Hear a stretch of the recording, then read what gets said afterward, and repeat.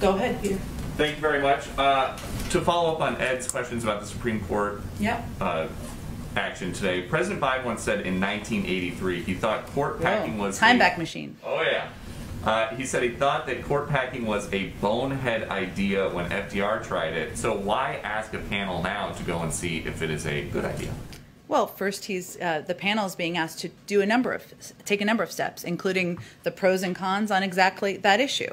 But they will also be looking at the court's role in the constitutional system, the length of service and turnover of justice on the court, justices on the court, the membership and size of the court, and the court's case selection rules and practices. And the makeup of this commission, which was vital for the president, uh, what is there are progressives on the court, there are conservatives on the court. People will present different opinions and different points of view, and then they'll have a report at the end of 180 days. Okay, and then about immigration, the U.S. government is now reportedly spending $60 million a week to shelter migrant children. That adds up to $3.1 billion in a year. Where is that money coming from?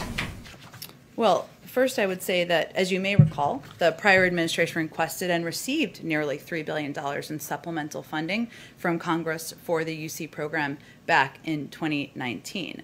That came after the previous administration had already made multiple transfers of hundreds of millions of dollars. And our commitment is to ensuring uh, HHS has the funds it needs now to safely and humanely care for children, which of course is resource intensive. We know that. There are 200 permanent shelters around the country, and there are needs related to the pandemic, social distancing, uh, enhanced ventilation, and testing that are additional needs given the time that we're living in. And because of the time that we're living in, is there concern if this is HHS money that it is uh, that these shelters? The Washington Post says the costs are going to rise significantly. That the shelters might be draining pandemic response elsewhere. No, that, that is not what our concern is. Um, we, uh, at all, uh, we have funding for the pandemic response. Uh, I'm just conveying to you what we feel this cost is and why it is uh, at the rate it is at this point in time. And then just one more. Uh, Texas Governor Greg Abbott says that he asked the Biden administration to shut down the temporary shelter for migrant kids at the Freeman Coliseum in San Antonio because he says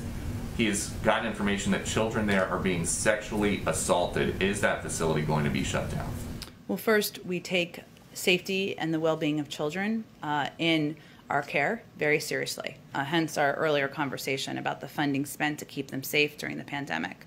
Um, he, we are, uh, his claims will be looked into uh, and investigated by the Department of Health and Human Services. Currently, we have no basis for his call to shut down the uh, Freeman, the San Antonio Freeman Coliseum as an intake site, but we will, of course, we take these uh, this uh, these allegations seriously, and they will be investigated. The last one would just be you said this week that uh, you guys are trying to make the processing more efficient and effective, and that you're addressing this in a humane way that keeps these kids as safe as we possibly can. If these allegations are true, how is that consistent with what you guys are? Well, again, trying- we are looking into these allegations. We take them seriously, and our focus remains on the safety and well-being of children. Hence, we're looking into them and taking it very seriously.